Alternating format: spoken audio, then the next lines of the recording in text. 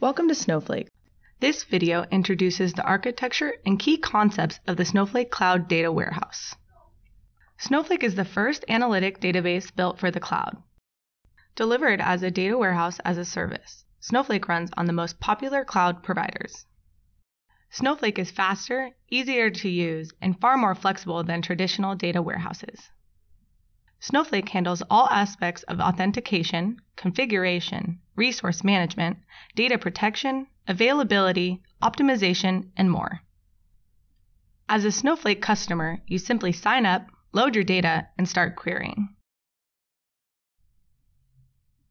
How does Snowflake differ from other traditional architectures? Shared disk architectures use multiple nodes to access data shared on a single storage system. Shared nothing architectures store a portion of the data in each node and each cluster in the data warehouse. Snowflake combines the benefits of both architectures in an innovative new design that takes full advantage of the cloud. Snowflake's multi cluster shared data architecture consists of three separate layers data storage, compute, and a service layer that manages it all. Each layer scales independently and includes built in redundancy. How does it work? Let's take a look at each layer. Snowflake stores all data in databases. A database is a logical grouping of objects consisting primarily of tables and views, organized into one or more schemas. Similar to other databases, you can store any structured relational data in Snowflake tables using standard SQL data types. In addition, Snowflake's variant data type lets you store semi structured, non relational data such as JSON, Parquet, and so on. Regardless of your data types, you use ANSI Standard SQL to perform all data related tasks. Snowflake uses highly secure cloud storage to maintain all your data. As data is loaded into tables, Snowflake converts it into an optimized, columnar, compressed format and encrypts it using AES 256 strong encryption. The compute layer is where queries are executed using resources provisioned from a cloud provider. Unlike traditional architectures, Snowflake allows you to create multiple independent compute clusters called virtual warehouses that all access the same data storage layer without contention or performance degradation. To create a virtual warehouse, you simply give it a name and specify a size. Snowflake handles all the provisioning and configuration of the underlying compute resources. A virtual warehouse can be scaled up or down at any time without any downtime or disruption. When a virtual warehouse is resized, all subsequent queries take advantage of the additional resources.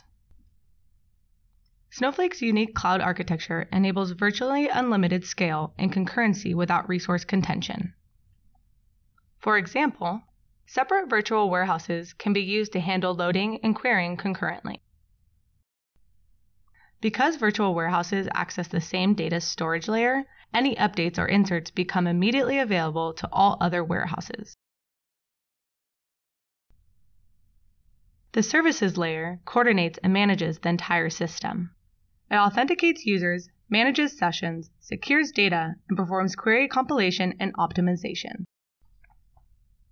The services layer also manages virtual warehouses and coordinates data storage updates and access, ensuring that once a transaction is completed, all virtual warehouses see the new version of the data with no impact on availability or performance.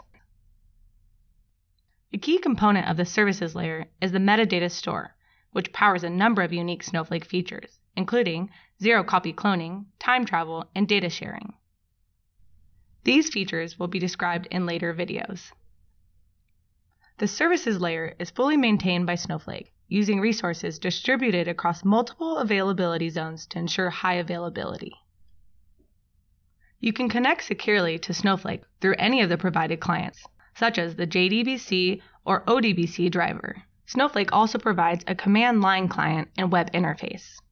A growing ecosystem of external tools include native connectivity with Snowflake. Virtually, all operations in Snowflake can be performed through these clients. To illustrate the different layers working together, let's walk through the lifecycle of a query. After connecting to Snowflake through one of the supported clients and initiating a session, specify the virtual warehouse to use in the session and submit a query.